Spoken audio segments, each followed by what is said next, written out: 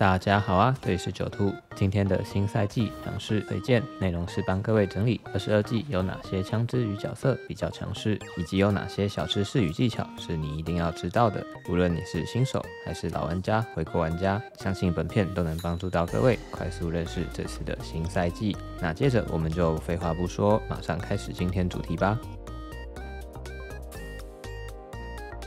那我们最先要讨论的当然是枪支的部分，毕竟这季最大的亮点就是双枪的加入，还有机枪腰射 buff 等新元素，是否能影响到整体的武器环境与选择？那先说结论，根据我自己的实战感想，以及我有看的各大主播心得做总结的话，个人认为，排除掉空投枪，目前的强势武器分别有 L Star、獒犬、满配双莫三、死敌。那如果你是有一定程度的老玩家，其实这次被大砍的汉洛、哈伯克。依然也还是很强势的武器哦。比如说，你能够像这样用时间差打出中距离压制力，那汉诺就还是大跌；或是你用哈伯克。能尽量在开镜的距离交火，去避免需要全腰射的状况，或善用开关镜来收束腰射。那只有被砍腰射的哈伯克就不该从上级最强变成一把烂枪，你说是吧？所以汉洛与哈伯克其实就只是从无脑强变成了需要理解枪支特性才能发挥强度而已。那说完比较有争议的部分之后，我们就说回开头提到的四把强势枪支吧。首先是死敌，因为他的老对手汉诺被砍，加上星图掩体。转角多单点的狙击与射手武器难以发挥，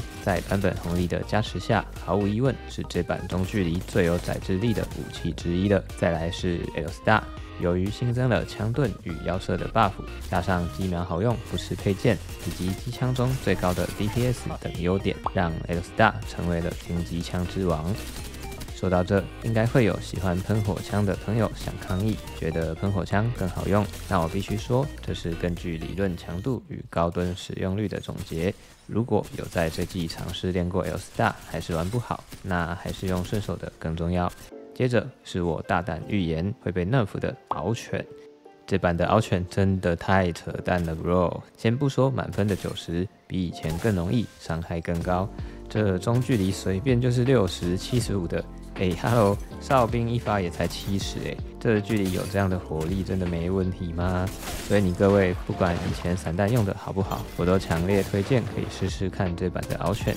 搞不好你就是下一个顶猎，只是缺了把獒犬。至于满配双莫三，这个应该就不用解释了吧？不管是要先用主武器打破甲补伤害，还是掏出来直接贴你一管，那个容错率与爆发率都是顶尖等级的。但你要注意，没满配就去跟主流武器 battle，并不会太吃香之外。双莫三的强处在于贴脸与无掩体的对枪，遇到要打高低差、转角以及防内对峙时，记得谨慎使用，不要为了贴脸发挥优势而白给。个人。很常这样，大家再注意一下哈。那最后提一下被 buff 很多的三零一。或是腰射很扯的喷火枪狂暴，因为枪支特色与面板的问题，与其说这些枪变超强，不如说变超可靠。主打的是容错率，而不是压制力，所以不能说太强势。但如果你是在这季之前冲锋枪与散弹都用不好的朋友，那这次被 buff 的喷火枪 L 四大，甚至是三零一，当然都会是你近战的首选，毋庸置疑。啊，至于狂暴没有充能，还是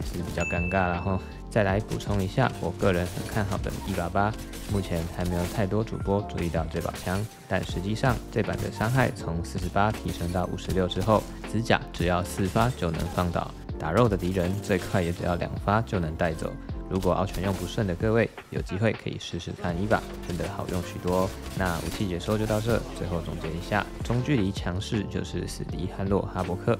贴脸强势就是 L Star 獒犬双莫三与一把冲锋枪没扩容，基本不拿，都是裸配的散弹，随便挑一把都能车飞裸配冲锋枪。而没提到的武器不代表不强，就是定位跟强度和旧版本差不多啊。空投枪就是强，拿就完事。阿九九贴脸输出，甚至跟习达一样，剩下就没啥好说啦。那接着是强势角色推荐。相信多数玩家应该都认同，这次二十二季的角色改动可以说是近期最成功的一次。比起谁强就砍谁的混乱暴力平衡，不如把弱的都改强，让大家一起强，百花齐放，这样游戏才会好玩。而这次的更新就是朝这条路发展，非常好方向，希望能维持。那在强势角色的这部分，我们就针对有更新到的重点角色来推荐。至于强很久的那些老角色，我们就不提啦。好，那我们推荐的第一位强势角色就是最近讨论度很高的暗马仕。没错，现在的暗马仕开飞机不但能隐形，能拉电，还能丢空投。来一首雪中送炭，打造升级后更能附带扫描效果，平常开枪还自带精瞄，兼具的强度与趣味性。且因为隐形的加入，让爱马仕无论是进攻还是防守，都能随时与队友进退，不用人保护，不再需要调位置打会战。这感觉就像是从一座固定炮塔变成了一台战车，随时都能准备开火。可以说，以前爱马仕最大的弱点直接消失，未来一定会是 Meta 角。那这边顺便跟各位分享一下，我认为很重要的开飞机技巧，就是在开飞机减牌或复活时，很多人喜欢把飞机贴地飞行，但其实这样超容易被打爆。这样只是自己的视角看起来会很有速度感而已，其实没啥卵用。不论你是要开飞机减排，或是复活冲进去开大 G，，我一律建议可以像这样飞，而不是直直的贴地或飞高。各位可以尝试在实战试试看这种飞法，飞机是不是真的比较不会爆？反正我自己都是这样控，没被射下来过。换做对手这样转，我也射不到。那阿马斯的介绍就到这，接着来推荐第二位强势角色，也就是亡灵。诶，啊，刚才不是说有更新的角色才提？是啊，肯定是跟更新有关才提的。虽然亡灵本身没动刀，但很多人都不知道，不管任何武器在蹲下时，都能让腰射的扩散缩小。此时再配上新加入的机枪腰射收束机制，就能让机枪在蹲下时的腰射接近瞄准的准度。当然，一般状况下，我们是不可能拿机枪蹲在原地一个人对射的，所以很多人就忘记有一个角色不但能享有蹲下腰射的准度，还能让蹲下射击的时的移速超越一般站着左右扭的速度。没错，这角色就是亡灵。所以说，除了亡灵本身就已经够强势之外，跟机枪新机制的绝佳组合，更是推荐给喜欢机枪的各位的原因。只要你试过亡灵的蹲走战车，就懂我在说什么了。那除了上述两个特别想推荐的强势角之外，在新赛季更新后，圈内就能多一格甲的控制角，以及内建精瞄的其他侦察角，还有跟双枪很大的弹道，配三弹枪很强的马吉或机器人，都很推荐各位去试试看。总之，目前的环境很多角色都有自己的用处，强度本身可比性并不高，根据自己的喜好去尝试使用就可以了。那最后是各位一定要知道的新赛季小知识与技巧。那首先提一下机枪腰射技巧的部分。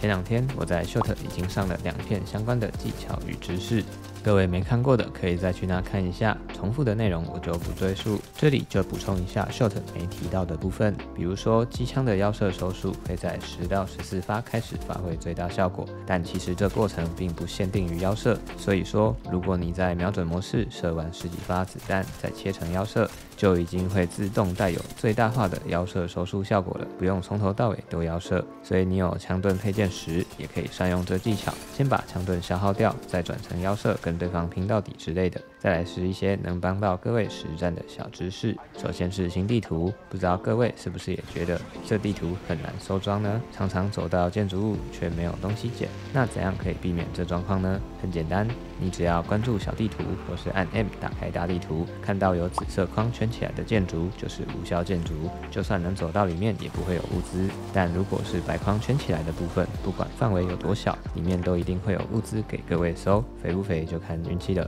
那说到新地图，休闲的新模式，无限复活，大家应该玩得挺快乐的吧？虽然有人会打到很燥，但至少不怕没架打。那如果玩这模式还找不到架，可以打开地图寻找一下哪里有绿圈，看到绿圈就代表那边有人复活，可能是激烈的战区。不想打太多组的落地架，就可以先跳没人的点收装，再开地图找绿圈，踏上快乐的黄雀之旅哦。那今天的教学就到这，觉得本片不错，记得按赞分享哈。祝各位都能快乐享受新赛季。这里是九兔，我们下次见。